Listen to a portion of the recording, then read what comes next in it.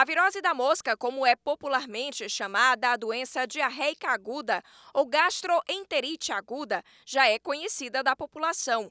Nas ruas da cidade, sempre há quem sabe um pouco do que é a doença ou de como ela é transmitida. Acho que ela é proveniente da falta de higiene, né, dos cuidados que as pessoas devem ter com a higiene, tanto no seu lar como cuidado com o lixo.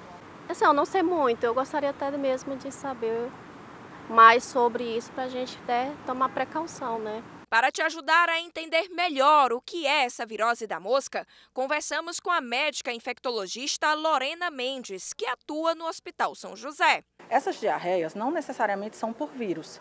Pode acontecer por vírus, por bactérias, por protozoários, certo? O vínculo com a mosca é porque no período do início do ano são os períodos chuvosos e tem mais proliferação de insetos, inclusive da mosca. E é ela que carreia esses vírus, essas bactérias para os alimentos e as pessoas ao consumir esses alimentos contaminados têm quadros diarreicos, certo? Então não necessariamente é um quadro viral. Entre os sintomas da doença, dor de cabeça, tontura, desidratação, boca seca ou cansaço excessivo, além da dor de barriga. O servidor público Frank Alencar conta que já teve a doença. Não houve nenhum exame específico, mas o médico, pelos sintomas, ele, ele diagnosticou como sendo a virose da mosca, né? É, acho que vômito, acho que inchaço no estômago permanente, quer dizer, eu, eu o tempo todo estava com o estômago cheio, mesmo sem comer nada, eu ficava com o estômago pesado e, e, e cheio, né?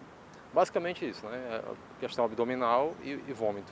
A principal forma de transmissão da virose da mosca é o contato com alimentos contaminados pelos insetos. Daí a importância de higienizar bem as mãos e lavar frutas e verduras com água e sabão antes de consumir. Outra forma de se proteger é fortalecer o sistema imunológico. Vírus e bactérias em geral não vão ter tratamentos específicos. É muita hidratação, repouso, certo? Agora, a depender dos sintomas, muitas vezes essas diarreias podem vir com sangue. Vindo com sangue, aí geralmente a gente chama de disenteria.